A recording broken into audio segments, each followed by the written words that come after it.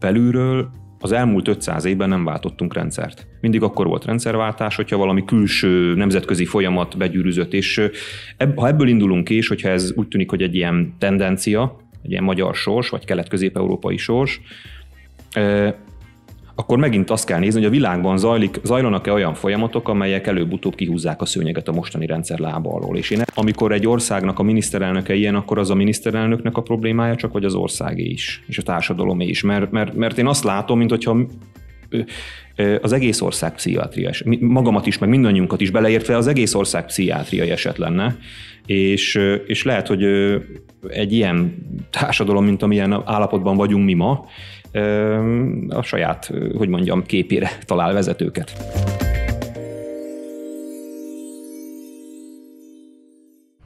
Vona Gábor a vendégem, és megmondom őszintén, zavarban vagyok, nem tudom, hogy kell szólítani. Mert Ahogy hogy, jól esik.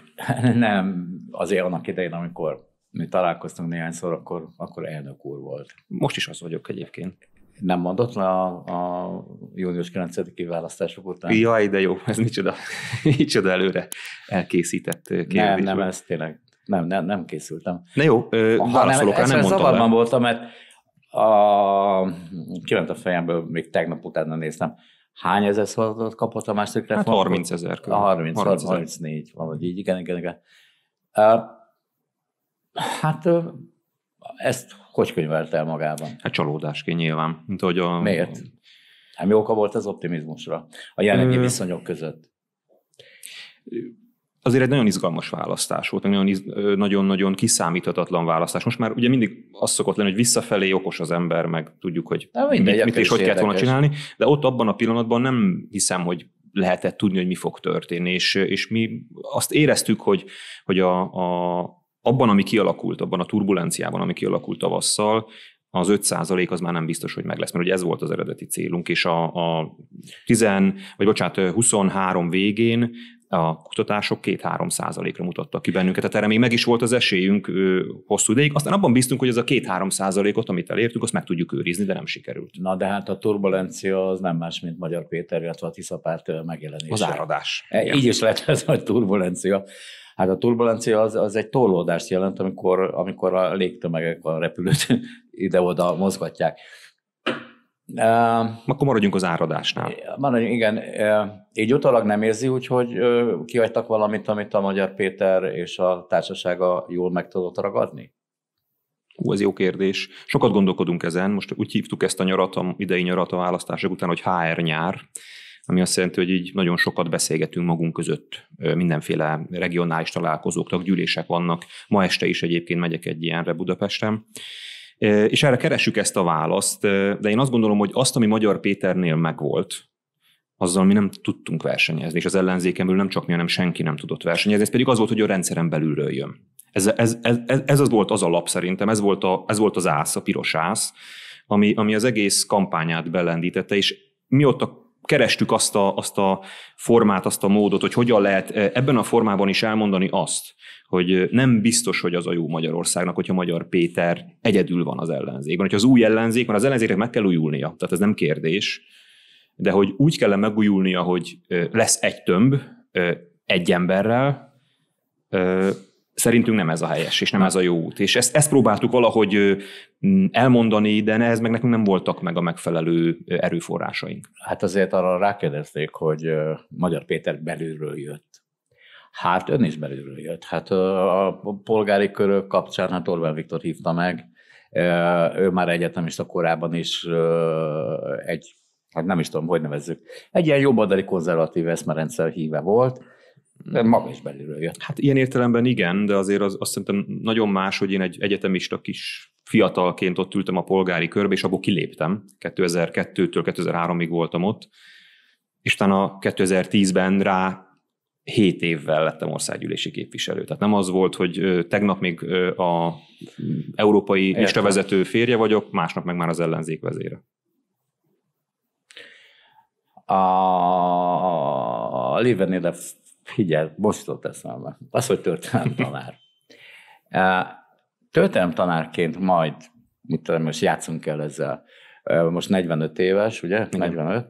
Mondjuk 20 év múlva lesz 65, addig már franc se tudja, hogy meg lesz a nyugdíjkorhatár, de mindegy. Szóval így már nyugdíjasként, tanárként fölkérnék, hogy írjon egy könyvet a rendszerváltás utáni Magyarország történetéről, és most nem hülyéskedek, komolyan kérem. Uh-huh.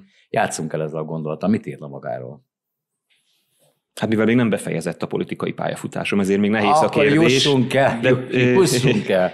Remélem, hogy azt tudom majd magamról írni, hogy hogy a magyar politikában egy nagyon sokak számára megosztónak számító politikus ként kezdte a pályafutását, viszont onnantól kezdve nagyon sokat tett azért, hogy a különféle oldalak, ideológiák, eszmék közötti megértés, egymás álláspontjának elfogadása az erősödjön a magyar társadalomban és a magyar közéletben.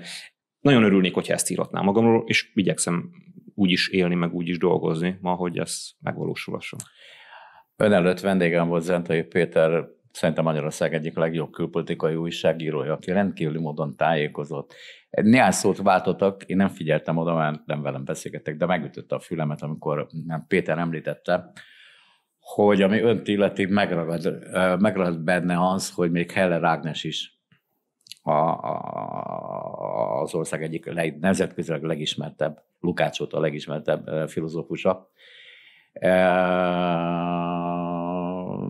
Kedvelte önt, hitt önben, és biztatta a közvéleményt, hogy, hogy, hogy támogassák. Egy visszagondolva, ez egészen elképesztő. De mégis valamit jelez, hogy akkor 2018-ban sokan hittek önben. Még Heller Ágnes is. Hát igen, de nyilván abban az is szerepet játszott, hogy 2018-ban én voltam, illetve az általam vezetett párt volt, a Jobbik volt az, amelyik, amelyik a legerősebb ellenzéki párt volt. És szerintem nagyon sokan vagyunk ebben az országban, akik szeretnénk már változást. Ez a változás soha nem akar eljönni, és ilyenkor kezdünk egyre egyre, hogy mondjam, megengedőbbek lenni. Tehát azért az én politikámat és Heller Ágnes politikáját azért nagyon sok minden elválasztotta, és ő azt hiszem, hogy De azért... talán a hazafiság az, ami, ami összekötött. Igen, magukat. igen, én azt gondolom, hogy, hogy, hogy talán meg sokan megláthatták azt 18-ban bennem, meg az akkori közösségünkben, programunkban, hogy aminek ugye az volt a szlogenje, hogy magyar szívvel, józan észsel, tiszta kézzel. És én azt gondolom, hogy akkor azt mi hitelesen képviseltük, és, és a legjobb tudásunk szerint igyekeztük vinni.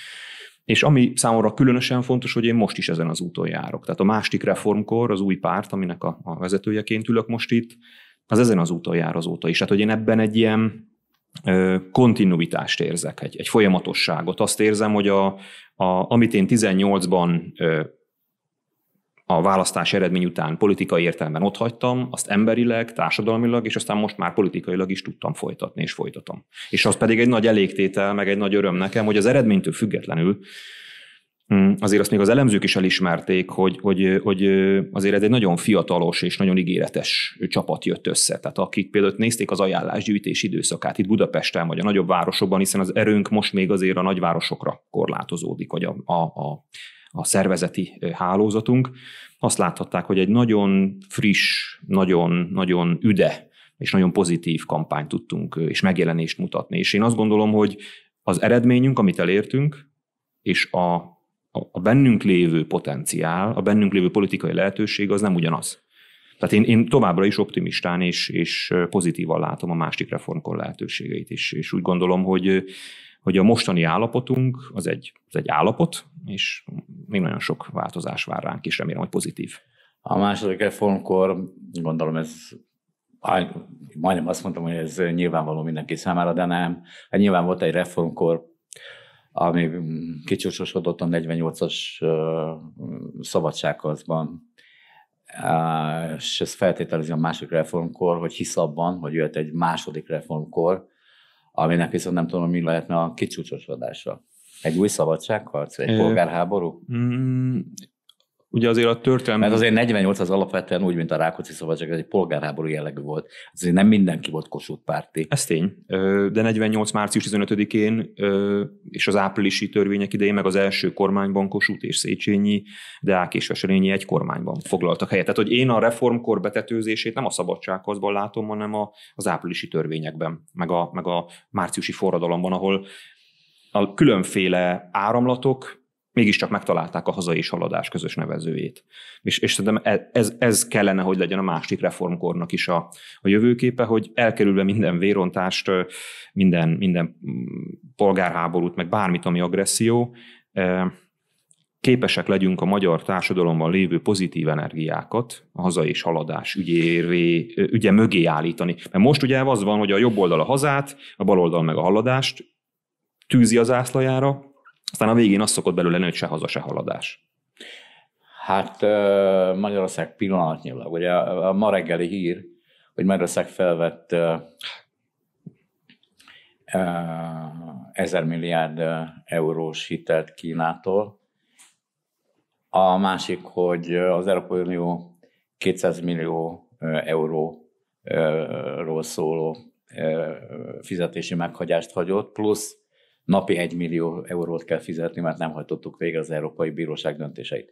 Ez az ország per pillanatnyilag most, ahogy most már egy jó egy-két éve, mióta a románok meg a bolgárok megelőztek minket szinte minden mutatóban, Európa szegényháza. Mindenben utolsók vagyunk. A gazdasági összeomlás szélén vagyunk azonnal hívtuk le az 1 milliárd eurót ö, ö, ö, a Kínától. Tehát fizetés, egyszerűen az államháztartás összeomlott. Az adósságunk az egekben van.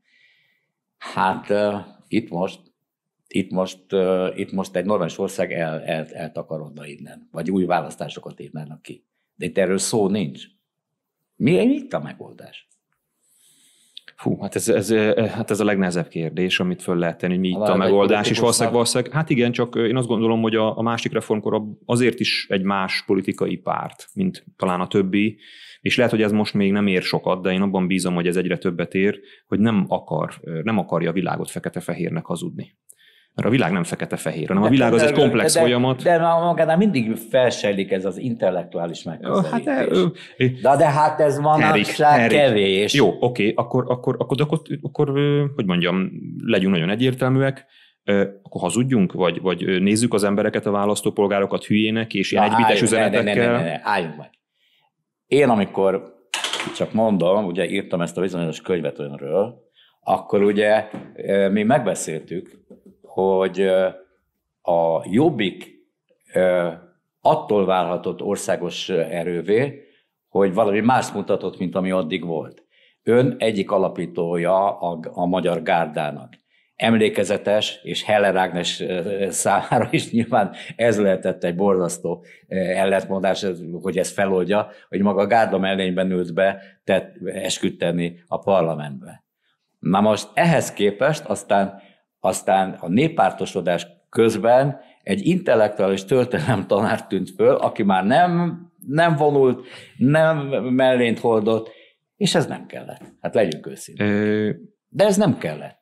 És ahol most tart hát, a, a jobbik, uh-huh. Hát, hát az, a, a, a, a, a, bocsánat, azt, azt azért, sok mindent elvállalok én, sok felelősséget elvállalok én, de ahogy, ahol most tart a jobbik, azért, azt azért hagyd ne én vállaljam a felelősséget. De mondja nekem, Henrik, egy politikust az elmúlt 14 évből, aki miniszterelnök jelölt volt, komoly ellenzéki pártot vezetett és vállalta a felelősséget. Rajtam kívül. Mondjon egyet nekem. Hát megmondom magának őszintén, nem vagyok elájulva. Hát jó, világos, de nem, azért nem, nem, jó lenne. Nem vagyok elájulva, hogy mi, amikor a könyvet írtuk, mi ketten, tehát a Vona Gábor című könyvet, ja, újra tervezés. Erről majd még beszélünk, ez hmm. az alcím, mert azt hiszem, hogy az ön koncepciójának ez volt az egyik lényege, ez az alcím, amit persze én választottam, de hát öntől kaptam. Hogy, hogy a, a, a nép az egyszerű igazságokra van kihegyezve. Igen. Szóval az a típus, uh-huh. amelyik a könyvben elmeséli, hogy a, a buszon elkezdte olvasni Hanvas könyvét, és le kellett szállnia, mert elsírta magát. Hát könyörgök. A gárda alapító... Nem sírtam el magam, nem így, nem így hát fogalmaztam. vagy meghatódott, vagy e, le sok, kellett... Inkább azt mondom, hogy kultúrsokkot kaptam, de mindegy. Na, de, de, azból csapongunk egy picit de, most de, már, annyi minden. De, de lényeg, tehát ez a dolog lényege, hogy az ön figurája addig volt érdekes, amíg jártatta idézőjelben a száját, hmm. amíg komoly emésztendő dolgokat mondott, és amikor, amikor átment ebbe az értelmiségi figurába, akkor, akkor erre már nem volt vevő az, De... az egyszerűbben. Mert látja most, háború béke. Maga pedig okay. bonyolultja a dolgot, bonyolította a dolgokat, hmm. és ez nem kellett. Oké, okay, de ez vagyok én. Tehát, hogy erre ez a válaszom, hogy ez vagyok én, és hogyha kell, akkor kell, ha nem kell, nem kell. Bennem nincs semmiféle görcs, hogy én mindenképpen kelljek. Én azt gondolom, hogy amit én képviselek, vagy amit mi képviselünk, az jó, Sőt, én azt is gondolom, hogy az a legjobb, de erről mindenki meg van győződve a saját pártjában. De én azt gondolom, hogy az jó. Magyarországnak szüksége volna egy olyan pártra, amelyik nem fekete-fehérben gondolkodik, hanem azt mondja, hogy van itt is, meg ott is igazság, és vizsgáljuk meg, hogy melyik oldalon van több, és aztán hozzunk egy döntést, mert ez a másik reformkornak a koncepciója, hogy legyenek viták. Mi szükség volna még egy olyan pártra, amelyik ugyanazt csinálja, mint a többi? Amelyik ugyanúgy leegyszerűsíti, és ezzel elhazudja és eltorzítja a valóságot az emberek számára, mint a többi párt. És közben meg itt van egy magyar társadalom, amelyik tele van frusztrációval, tele van történelmi sérelemmel, tele van bosszúvágyjal, mindkét oldalon és akkor erre az olajra öntsük a tüzet, és akkor még én is pluszban legyek, aki még, még, még egy még olajat önt erre a tűzre. És, és amikor azt mondta Henrik, hogy, hogy én voltam ugye a gárda alapító, aki aztán egy ilyen gondolkodó, intellektualizáló történelemtanár lett, de hogy ez, én pontosan azért lettem ez, mert, mert rájöttem arra, hogy az, ami én korábban voltam, az sehová nem vezet Magyarország tekintetében. Tehát lehet, lehet itt Magyarországon nagyon keményeket mondani, meg lehet Magyarországon nagyon eh, populista eh, és népszerű eh, üzeneteket mondani, de utána az segíteni fogja az országot, vagy sem. Ezt a kérdést föl szoktuk tenni, tehát hogy utána jobb lesz Magyarországnak, vagy csak az adott illető politikai sikert ér el, amitől a politológusok megnyalják mind a tíz újukat, de én nem politológus vagyok, én magyar állampolgár vagyok, és azt szeretném, hogy ennek a, az országnak jó legyen. És én hisz, ebbe hiszek. Abba hiszek, hogy, hogy erre a nyugodt, higgadt hangnemre van szükség, én egy ilyen pártra szavaznék, amelyik, amelyik ezt képviseli. Lehet, hogy nem vagyunk még sokan, de mi abba hiszünk, hogy ez a, ez a kínálat, ha megjelenik, akkor talán előbb-utóbb növekedik a kereslet is ez, ez iránt, mert hogy ilyen kínálat azért nem nagyon van.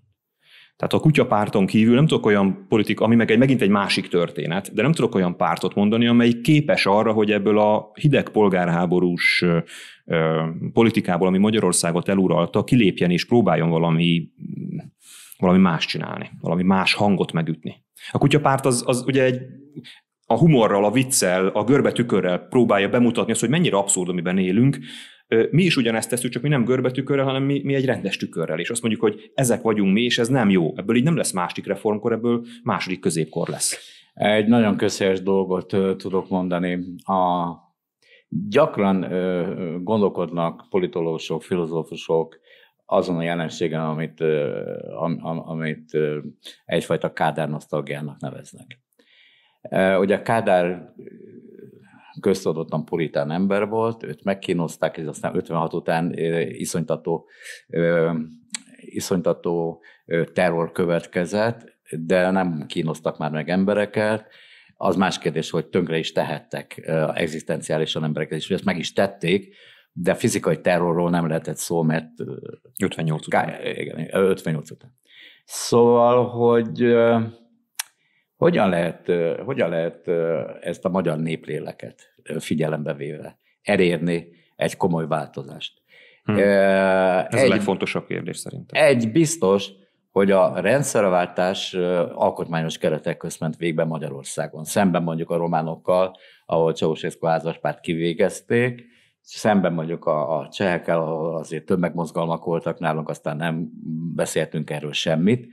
Szóval hogyan képzelhető el egy alkotmányos keretek közt vér nélkül végmenő változás akkor, amikor az HVG-ben most olvastam, hogy 1460 milliárd forint van magántőke alapokba, amiben senki nem lát bele. Ez közpénz volt valamikor, és most a, a Tibosz Pista, a Szélászló, a Mészáros Lőrinc, stb. stb. És ez a magyar GDP egy jelentős része. És ezt, ezt ők meg akarják őrizni. És a fizikai biztonságokat is meg akarják őrizni. És a hatalmukat is meg akarják őrizni. Akkor hogy? Hát a hatalmukat meg akarják őrizni, de azt nem fogják tudni. Tehát minden rendszer előbb-utóbb összeomlik, és én, én azt gondolom, én, én bennem is nagyon sok szkepszis van, hogy leváltható-e demokratikusan. Állj, álljunk meg, álljunk meg. Mitől omlik össze? A Kádár rendszer nem magától omlott össze. Egy külső nem az, ez pont erről beszélek, hogy a, a rajkbutik az nagyon szép dolog volt, hogy egy, egy, egy tucatnyi liberális értelmiségi, itt, nem tudom, mint tette vette magát, de igazán Reykjavikban meg, meg, meg, meg, nem is tudom, hol dőltek el a dolgok. Amerikai-szovjet megállapodás volt. Persze, ez, ez igaz, tehát teljesen igaza van Eriknek abban, hogy a mi belülről az elmúlt 500 évben nem váltottunk rendszert. Mindig akkor volt rendszerváltás, hogyha valami külső nemzetközi folyamat begyűrűzött, és ebb, ha ebből indulunk ki, és hogyha ez úgy tűnik, hogy egy ilyen tendencia, egy ilyen magyar sors, vagy kelet-közép-európai sors, akkor megint azt kell nézni, hogy a világban zajlik, zajlanak-e olyan folyamatok, amelyek előbb-utóbb kihúzzák a szőnyeget a mostani rendszer lába alól. És én erre azt mondom, hogy én úgy gondolom, hogy egyre több jel utal erre. Álljunk meg. Hát az előbb említettem, csak túléptünk rajta. Ugye ma reggeli hír, hogy 1000 euró hitelt vettünk egy milliárd Kínán, euró. vagy egy milliárd ezer, euró, ezer millió euró, vagy egy milliárd? Egy Jó, egy milliárd igen. euró hitelt vettünk föl. A kínai taktikát azt Afrikából meg innen ismerjük, ezt már megbeszéltem. A 200 millió eurós bírság, a fizetési meghagyás, amit ki kell fizetni, és a napi 1 milliót, amit még öntett hozzá, még büntetés, ez minden normális országban kiverni a biztosítékot. Hát ilyen nincs. Egy ilyen kormánynak mennie kell. Előrehozott választások kellenének. De erről szó nincs. Úgy mennek tovább, a Seattle úgy repked ide-oda-amoda, hogy az ember csak csodálkozik. Én, igen, én mégis valahol azt látom, hogy mintha a világban, vagy hogyha a magyar külpolitika picit az a pókerjátékos lenne, akinek már igazából nincsenek nyerőlapjai, de a napszemüvegével nagyon magabiztosnak mutatja magát, és úgy tesz, mintha valami nagyon komoly lapjárása lenne, de én azt érzem, hogy egyre szorul a hurok. Tehát miközben azt mondjuk, hogy egy milliárd eurót vesz föl Kínától, azért tegyük hozzá a, a nézők, hallgatók számára, hogy ez az egy milliárd euró Kínából, ez nagyobb, mint amit a Belgrád-Budapest vasútra vett föl Magyarország. Azt hiszem 900 valahány millió volt. Tehát, hogy csak hogy a volumenét érezzék a, a, a nézők, hogy ez brutál nagy hitelfelvétel, amiről nem tudunk semmit. Úgy, de épp úgy derült ki. A portfólión talán ott, ott a portfólió írta meg, nem tudjuk, hogy milyen kamatozású, változó, ennyit tudunk róla. Tehát, hogy ez, ez az egész egy, egy játék, és amit itt kül, magyar tudjuk, külpolitika... És még azt sem tudjuk, hogyha nem tudjuk visszafizetni, már pedig a dolgok jelenlegi állása szerint nem tudjuk, hogy mennyi a... Kína a... meg fogja találni a módját, hogy Igen. hogy... Hát a görögök elvették a Pireuszi kikötőt. A montenegróiaktól épp az előző beszélgetésben volt erről szó, elvették az autópályát, amit mm. aztán az Európai Unió segítségével visszaszereztek. Szóval mit fognak elvinni? Vagy hogy, mi van még nekünk egyáltalán? Szóval én azt látom, és ez azért, azért fontos, hogy erről beszéljünk, hogy én azt látom, hogy a magyar külpolitika pilóta játék, e, és ha a mondjuk a másik reformkornak lenne e, ráhatása most a magyar külpolitikára, és remélem, hogy 26 után lesz, e, akkor szerintem a, legfontosabb lépés az volna, hogy az Európai Unióval és a NATO-val azt a bizalmat, ami megtört, azt helyre kell állítani. Nem az a baj, hogyha Magyarországnak külön véleménye van valamilyen kérdésben, hanem az a baj, hogy Magyarországot a szövetségesei nem tekintik már szövetségesnek. Tehát, hogyha a magyar miniszterelnök ma mond valamit egy Európai Uniós vagy NATO csúcsom, vagy egy külügyminiszterünk, akkor mindenki azon gondolkodik, hogy ezt most Putyin kérte, vagy a kínai elnök kérte, vagy milyen, milyen, milyen, milyen piszkos játszmának a része az, amit képviselünk. Gondoljunk bele, ezt most csak játszunk, játszunk el azzal a gondolatról, hogy van egy magyar miniszterelnök, vagy van egy magyar külügyminiszter, aki mindent megtesz azért, hogy helyreállítsa a bizalmat, és, és ezt el is éri, és mondjuk azt mondja egy Európai Uniós csúcson, hogy nézzétek, nekünk ebben a kérdésben, mondjuk, mondjuk a közös mezőgazdaság, közös agrárpolitikában nekünk, nekünk van egy más elképzelésünk, mint mondjuk a francia vagy a német lobbinak. De mindenki tudja, hogy ő a mi szövetségesünk, tehát nem kifelé játszik. Hogy lehet elérni nagyobb sikert? Hogy lehet elérni az Európai Unió meg a nyugati rendszer, szövetségi rendszerben nagyobb sikert, hogyha bíznak bennünk, vagy ha nem bíznak? Nyilván ez egy költői kérdés, akkor lehet nagyobb sikert elérni, hogyha bíznak bennünk. És én ezért vagyok emiatt indulatos, meg ezért, ezért mert hogy itt most, ami magyar külpolitikaként zajlik, 10-20 évre teszi tönkre a leendő kormányok normális hazafias külpolitikájának a, a, a mozgásterét. Mert ez nem hazafias külpolitika. Tehát az, amiről itt beszélünk, az valójában egy átláthatatlan, trójai falu. Tehát mi nem, a, nem, a, mi nem az Európai Unió ugye konnektivitásról beszél Orbán Balázs, hogy mi vagyunk a konnektivitás. Imádom ezeket, hogy mindig van valami, amit elültet valaki az Orbán fülébe, és onnantól kezdve ez hajkórásza. Igen, igen. Ez a Orbán Balázs, hogy a politikai igazgató, ez ú, és konnek, itt találkozunk, összekötjük. Igen, Jézus, igen. hát ennyire primitív dumát, és akkor már hadd kérdezzem meg, hogyha ez szó, szóba került Orbán Balázs meg a konnektivitás, meg ezek a baromságok, hogy kik veszik körül ezt az embert?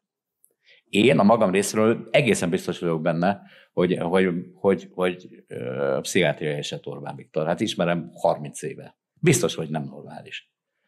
És ugye 78-ban ő maga megmondta, hogy három dolog érdekli. Az egyik, hogy meggazdagodjon, a másik, hogy hosszú távon hatalma legyen, a harmadik, hogy politi- Európában meghatározó politikai tényezővé váljon. És szerintem minden erre megy ki, hogy ezt a harmadik vágyát megvalósítsa. A kisvasútról meg a stadionról nem beszélt, mert én azt látom, hogy sokszor még ez, ez még fontosabb, mint hogyha valamilyen gyermekkori, na mindegy, nem, nem is akarom pszichologizálni a miniszterelnök ezt, urat. Ezt az embert otthon kéne tartani. De akkor, akkor én is visszakérdezek, hogy, hogy amikor egy országnak a miniszterelnöke ilyen, akkor az a miniszterelnöknek a problémája csak, vagy az országé is, és a társadalomé is. Mert, mert, mert én azt látom, mint hogyha az egész ország pszichiátriás, magamat is, meg mindannyiunkat is beleértve az egész ország pszichiátriai eset lenne, és, és lehet, hogy egy ilyen társadalom, mint amilyen állapotban vagyunk mi ma, a saját, hogy mondjam, képére talál vezetőket. Most a politi- az aktív politikus kérdezem. Amikor Trump hatalomra került, akkor én azt mondtam, hogy ez egy idióta barom. Hát én szinkronizáltam a hangját a Hillary Clinton vitával, minden sorát el kellett olvasnom, hogy érte? Az ez nem normális, ez tök hülye. A Biden vitában 46 hazugságát jegyezték fel. Aztán valószínűleg, hát valószínűleg nem tudjuk. Vagy jön megint Trump, vagy lesz a Kamala Harris, nem tudjuk még, de mindegy. A hozzáértők, Amerika kutatók azt mondják, hogy tök mindegy lényegében. Az adminisztráció, ugye Amerikában nincs kormány, ott adminisztráció van, egy nagyon kemény, kemény hierarchizált rendszer van. Az elnökök jönnek, mennek, orra esnek, hülyeségeket vesznek, hazudoznak, de az adminisztráció az marad. Na most Magyarországon úgy tűnik, hogy Orbán legnagyobb trükkje, hogy az adminisztrációt lecserélte, a közszolgálati egyetem jarnicsárképzőjétől kezdve a Corvinus, Matthias Corvinus, mit tudom, mindenféle ötleteig, és hogy, hogy, mi lesz így velünk? Hát én azt gondolom, hogy ami, ami itt épül jelen pillanatban, az, az azért is jó az amerikai analógia, mert mint hogyha az el 18 óta azt látnám, már 18-ban ezt érzékeltem, és azóta ez csak fokozódik folyamatosan az alapítványi kiszervezéseket is, én ebbe a folyamatba illesztem bele. A Fidesz előkészül az egy adott időpontban bekövetkező választási vereségére. És ezért is nagyon fontos az, hogy amikor majd új kormány lesz, tételezzük fel mondjuk 26-ban, akkor, akkor nem elég csupán dühösen kiabálni. Akkor, akkor nagyon okosan, nagyon higgadtan, bizonyos pontokon meg nagyon keményen kell tudni szembeszállni azzal a mély állammal, ami most itt kiépült a kormány körül. Tehát a Fidesz, ha ellenzékbe szorul 26-ba, akkor is erősebb lesz, mint bárki, aki akkor kormányon lesz. És, e, és ezzel kell tudni majd valamit kezdeni, és én azt gondolom, és ez, ezért vagyok én sokszor kritikus az ellenzékkel is, e, mert e, ha csak azt mondjuk, kiabáljuk, hogy Orbán ilyen, meg Orbán olyan, meg O1G, meg nem tudom, értem ebben rejlő indulatot, és bennem is van sok dű. De ha elhitetjük az emberekkel azt, hogy ha Orbánt leváltottuk, akkor megszabadultunk ettől a rendszertől, és, és akkor már igazából lényegében a másik reformkor másnap el is kezdődik, akkor hazudunk nekik. Tehát ez egy sokkal-sokkal nehezebb ö, probléma lesz, és, és, én, és én, azt gondolom, hogy itt van most már az idő, mert tényleg nem vagyunk most már, nem, nem tudom, nem vagyunk-e a fenekén a, a gödörnek. Vagy, van, vagy mindig szoktuk mondani, hogy ennél már nincs lejjebb, nem tudom. De most már lehet, hogy a gödör fenekén, lehet, hogy itt lenne az idő arra, hogy végre őszintén beszéljünk egymással, és mondjuk el, hogy itt, itt egy olyan nehéz időszak vár a leendő kormányra, ami, ami hát nem tudom, mikor volt olyan nehéz helyzetben kormány, mint amelyik majd akkor lesz, amikor leváltja a NERT, és ezért türelmet kell kérni, és, és, és, és, és nyugalmat kell kérni, mert, mert én simán el tudom azt képzelni, hogy egy ilyen szituációban, a Fidesz mondjuk gazdasági, a küllő közé gazdasági botokat tesz be, és a már említett, ne legyen ilyen. Csak, csak, csak mint, mint, mint, egy, mint egy ilyen szörnyű és reméljük meg nem valósuló rémálom, polgáráborús indulatokat fog ö, ö, szítani. És, hogy, és hogyha az ellenzék is ilyen indulatokat szít, és most hát nézzük, hogy mi zajlik a magyar közéletben, akár manapság is, hogy hogyan beszélünk egymással, meg hogyan, akkor ennek meg lesz az alapja, meg lesz a társadalmi klímája, meg lesz a termőtalaja annak, hogy egymásnak ugorjunk. Én csak felvettem, mint lehetőséget. Hát ugye én 79 óta benne vagyok a politikában, akkor kezdtem a, a, a rádiós újságírást. Hát én emlékszem egy ilyen helyzetre. A 80-as évek elején annyira nem volt pénze az országnak, hogy motoros futárok hozták a Balatonról, a pénzváltóból a, a, a, a nyugat-német márkát, meg a dollárt. Beléptünk a világbankba, beléptünk a valuta alapba, a szocialista országok így néztek és gyűlöltek minket, de megtettük. Mert voltak bátor emberek, Fekete Jánostól kezdve eh, sorolhatnám.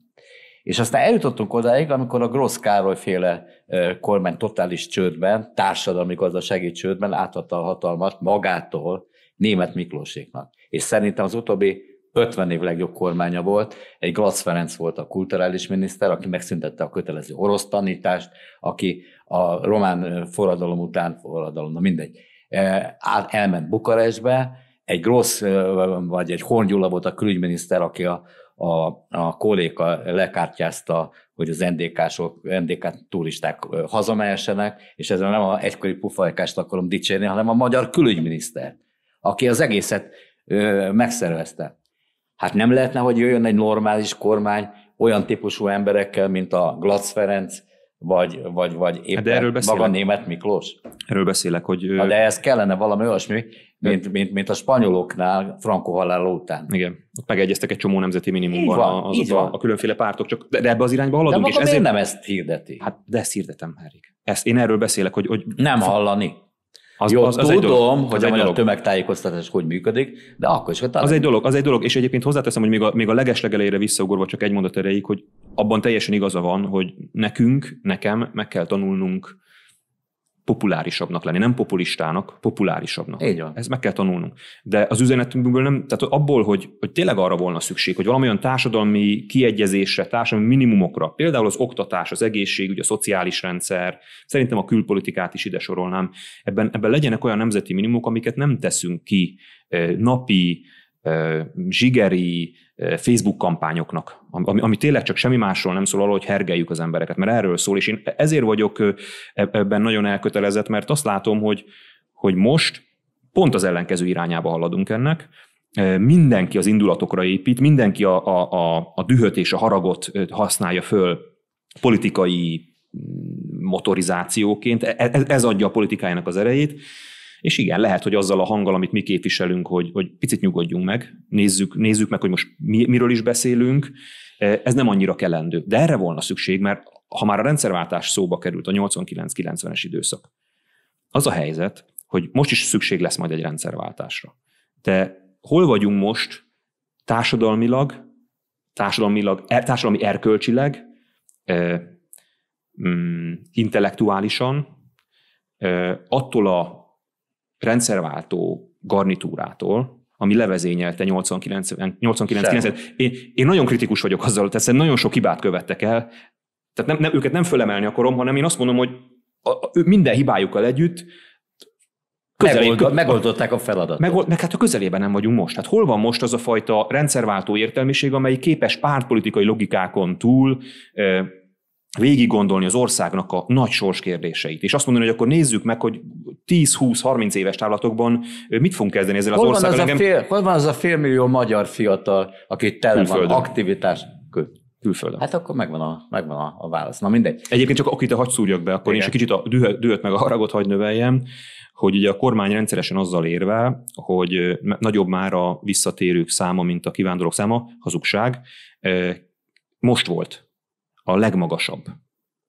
35 ezeren. Eddig 31 volt talán 2015-ben, az adott évben Magyarországot elhagyók száma, most volt a legmagasabb, legutóbbi évben. Tehát, hogy rekordot döntöttünk az elvándorlásban, és nem is lepődöm meg, megmondom őszintén, hogyha ennek az országnak a viszonyait átnézzük és megfigyeljük. Még mindig térjünk picit vissza arra, nekem a spanyol példa, megmondom miért tetszik.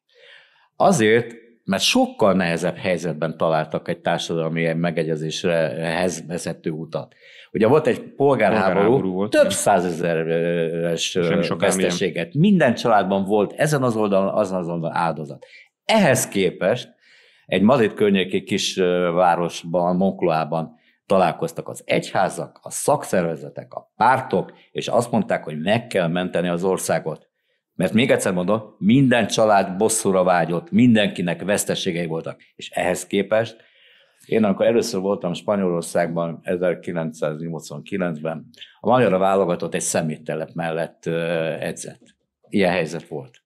És akkor tíz valány évek később mentem, virágzott az ország. Mindent azt láttam, mindent azt láttam, hogy az Európai Unió segítségével épül az út, a kórház, mit tudom én. Most ebből az Európai Unióból mi nem tudjuk, hogy mit, mit hol, hova lett a pénz. Spanyolországban látni.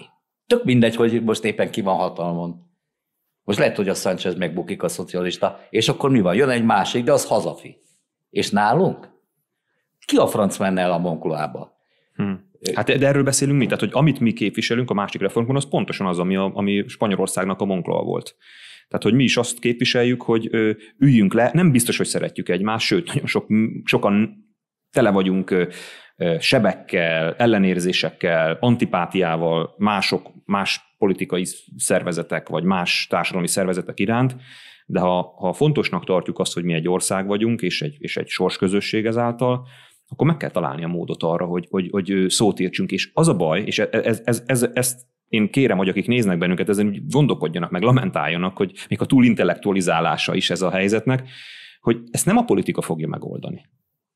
Ezt, ezt én fogom megoldani, mint állampolgár. Hogy, hogy magamban először ezt az igényt megteremtem, hogy, hogy az a politikus, meg az a párt, amelyik, amelyik bennem a dühöt, meg a haragot keresi, az menjen a francba, elnézést keressünk olyan embereket, civil szervezeteket, és biztos, hogy találunk is, ha akarunk, akik nem, ezt a, nem, ezt a, nem, ezt, nem ezen a, a nyomvonalon haladnak tovább.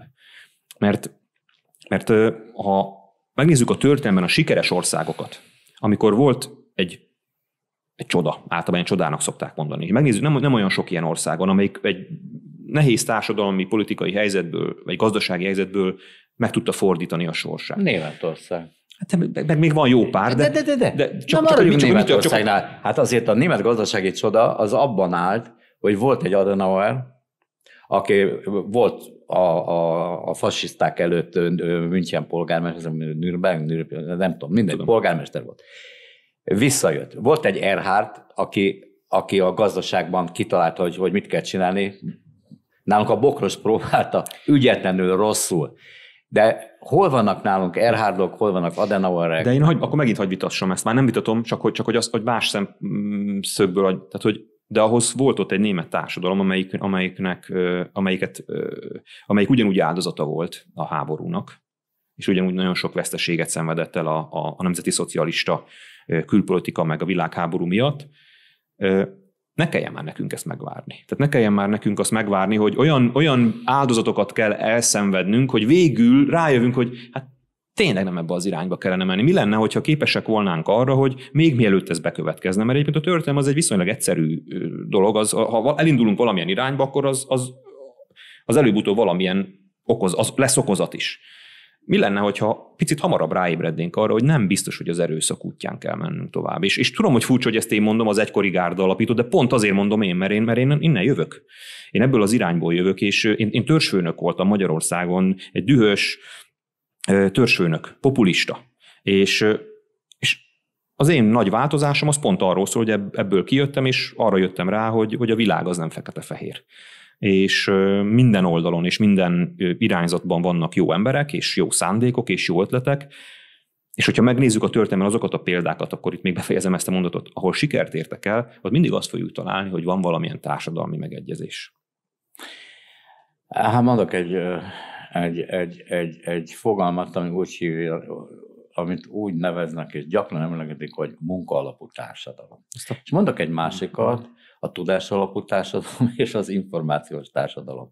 És a jelenlegi kormánypártok, kormánypártok, a Fidesz, eh, hajtogatja ezt a munkaalapú társadalmat, akkumulátor, autó nagyhatalom hmm. lettünk. Mm. Mm. És egyszer csak azt olvasom, hogy eladatlan Tesla autók százezrei rohadnak az óceánparton, a kereslet az állami támogatások után, miután azok megszűntek, visszaesett, és megint valamire építünk, de nem a Rubik kockát találtuk föl, hanem mi a Rubik kockát összerakjuk.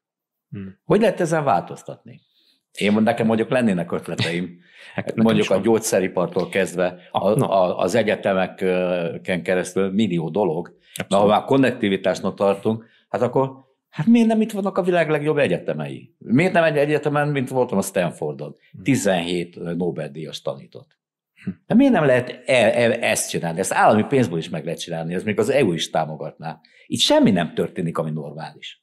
Hát ez, ezt, ezt nevezzük mi másik középkornak. A munkaalapú társadalom a 21. században az a másik középkor. A másik reformkornak a, az elképzelése arra, mert amiről most beszélünk, az az, az hogy Magyarországnak mi lehetne az a kulcságazata, vagy az a, az a, az a stratégiai ágazata, amit meg, megjelöl, és utána abba fekteti az energiákat, a forrásokat, a kutatásfejlesztést. És szerintünk van egyébként, mi ezt prevenciós iparnak neveztük el, ami magában a, tehát ugye, ha valami fontos, minden ember számára, meg a szeretteink számára az egészség. És az egészségügyben nem fogunk tudni versenyezni az egészségügyi gépgyártásban mondjuk a, a legmodernebb kínai, japán, amerikai, francia, meg, meg holland egészségügyi gépek. De van egy, van, szerintünk van egy, van egy úgynevezett nis, vagy egy olyan kis rés, ahová be lehetne törni, ez pedig a prevenció, a megelőzés. Mit jelent ez?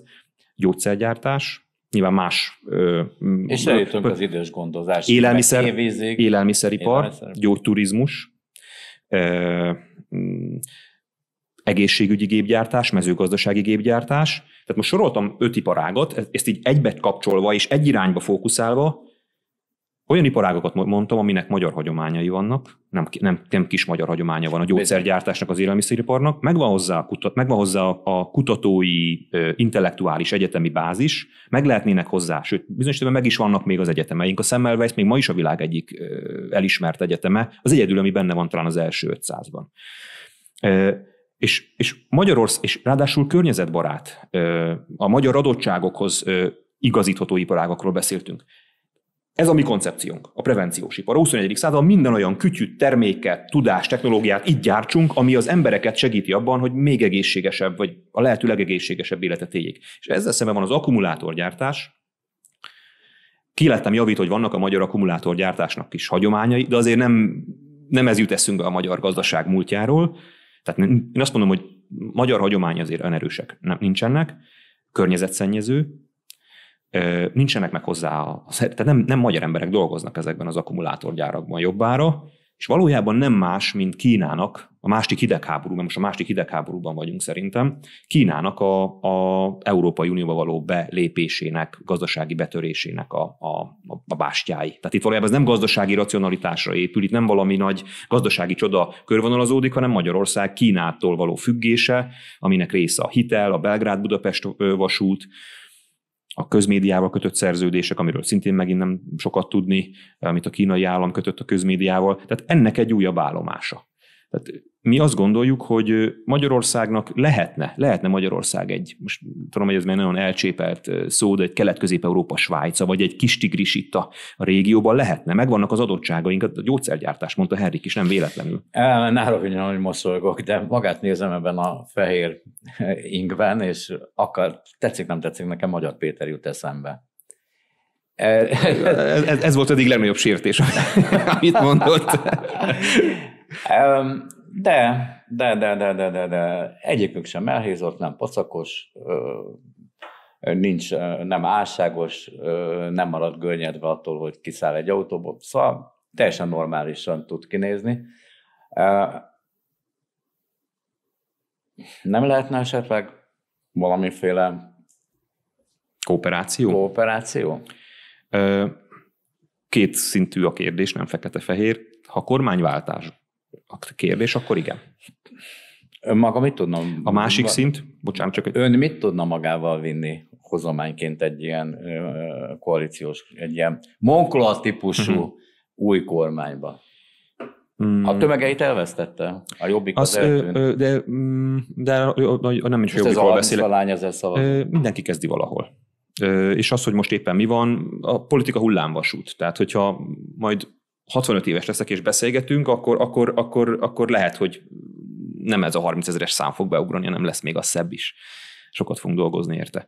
De a kérdésre visszatérve, szerintem az első reformkorban volt tiszta szabályozás. Szerintem a másik reformkorban is szükség lesz rá. Tehát, hogy az az áradás, ami zajlik, az nagyon sok pusztítást is hoz magával, és én azért mondtam, amikor viccesen, hogy a Magyar Péterhez való hasonlítás, az nekem picit sántít, mert azért nekem, amit Magyar Péter politikailag képvisel, az most nem is a politikai programjára, mert a politikai programjában nagyon sok mindennel egyetértek, vagy egyetértünk.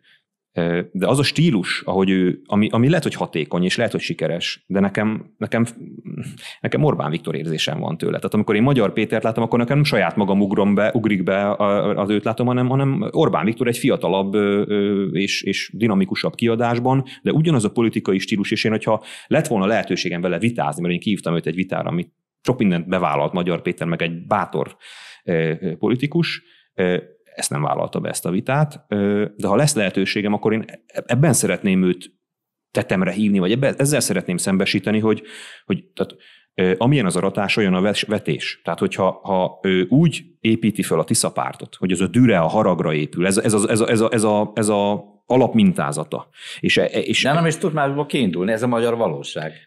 Világos, de Magyar Péter 30% birtokában nem tudná azt megtenni? Én ezt nem értettem se Orbán Viktorba, hogy kétharmaddal nem tudná azt megtenni a magyar miniszterelnök, hogy azt mondja, hogy gyerekek, most meg picit higgadjunk le és beszélgessünk egymással. Nem, Orbán Or... Viktor azt mondta, a földre kell az ellenfél, öld meg. Oké, okay, na és akkor és ugyanezt kell lemásolni, tehát 30% nem. birtokában Magyar Péter sem tud, tud egy picit lehiggadni, és mondjuk nem belerúgni az első újságíróba, aki kritikát mer megfogalmazni vele kapcsolatban. Tehát ne, ne, ne ez legyen már a minta, és ne ez legyen már a, a, a a sikernek a kulcsa Magyarországon, hogy, hogy gátlástalanok vagyunk, meg, meg agresszívek. Én azt hiszem, hogy elért 30%-ot, ez egy nagy politikai teljesítmény, és nekem nagyon sok kritikám van vele kapcsolatban, de azért egy dolgot én elismerek, mert én is megcsináltam, tehát ő azért járja az országot, és járta az országot. Tehát, ha valaki tudja, hogy az mekkora meló volt, amit ő beletett abba a kampányba, akkor az én vagyok.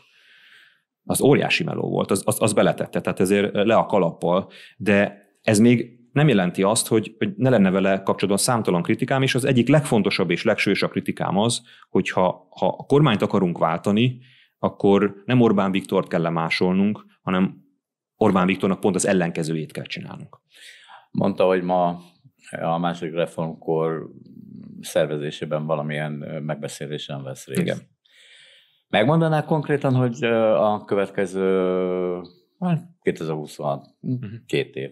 Igen milyen konkrét lépéseket akar tenni annak érdekében, hogy a magyar monkola maradjon. Nekem ez tetszik, ez a, magyar monkola. Ez egy társadalmi szerződés, egyházak, szakszervezetek, pártok együtt a hazáért. Hogy ezt elérjük, mit tud ezért tenni? Már nagyon sokat igyekeztünk eddig is tenni, csak mondok egy példát.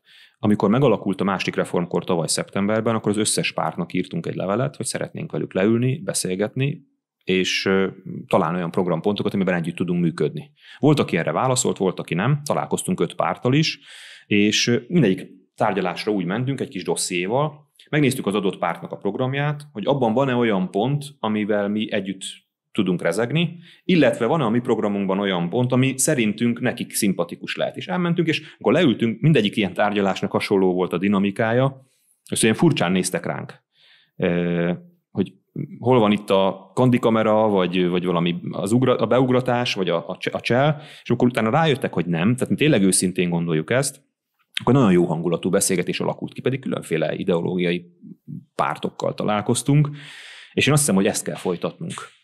Ha, ha, ha ezért 30 ezer szavazat jár, akkor 30 ezer szavazat jár, de hogy föl kell mutatnunk azt a normát, azt a politikai normát, hogy lehet, most az jutott hogy lehet más a politika, hogy föl kell mutatnunk azt, hogy lehet így is csinálni, és hogy nem kell mindenképpen a másik belét kirángatni a torkán, ahhoz, hogy politikai sikert érjünk el, hanem lehet kulturáltan meg higgadtan, meg a másikat tisztelve, és az ő eredményeit, meg az ő társadalmi támogatottságát tisztelve szót érteni, és találni közös pontokat.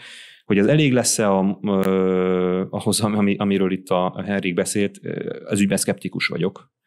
De, de ha van ötlete, akkor elfogadom szívesen. Hogyan lehet túlépni azon a, hát saját, rólam van szó, a havas féle jelenségen. Hogy 2017-ben több mint fél évvel a választás, 2018-as választások között írtam egy könyvet Vona Gáborról. És pontosan tudja, hogy utána mi történt. És ön azt mondta a könyvbemutatón, hogy ha Alvas Erika ezt, meg, meg, ezt megmerték csinálni, akkor mire számítsanak mások. Az utolsó peremet múlt héten nyertem meg. Nekem is van még, nekem is van még. Igen? Igen. Na mindegy, szóval a dolog lényeg az, hogy most éppen két milliót fizetnek, de azt sem tudom már kicsit azt mondja az origó, tök hmm. mindegy. Tehát mindenről kérdött, hogy hazugság, de hogy jövök én ahhoz, hogy Orba, ezt mondták, Vona Gábor beemeljem a mainstreambe, hogy könyvet ír Havas Henrik róla, hmm. ez a 27. könyve. Hmm. Na most Én ezt megfordítottam ennyi év bocs, bocs, csak annyit. Én akkor már 70 voltam, vagy majdnem 70 voltam. Mit érdekelt engem, hogy most mit tudnak velem csinálni? Na de egy 50 évesen, 40 évesen, egy egyetemi karrierrel a fiatal értelmiségi. E, az én példámat alapul véve.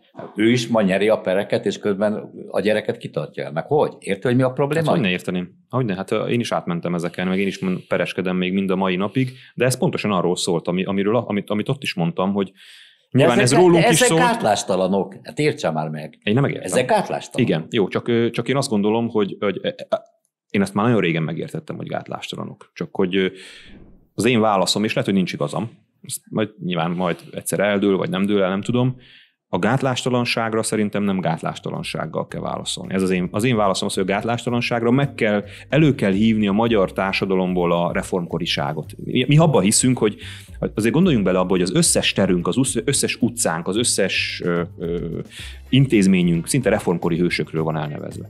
Ott, ott, ott szunnyad bennünk ez a fajta, én azt hiszem, lehet, hogy ez idealista, de ott szunnyad bennünk ez a fajta közös érzés, hogy jobboldali, baloldali, liberális, konzervatív elismeri, hogy a reformkor jó volt. Én azt gondolom, hogy ez a helyes válasz, meg kell szólítani a magyar emberekben a reformkor ö, ö, szunnyadó ö, ö, parazsát, és nem a gátlástalansággal kell a gátlástalanságra válaszolni. Hát, ki kell várjuk ezt az időszakot. Köszönöm volna, Gábor. Köszönöm szépen.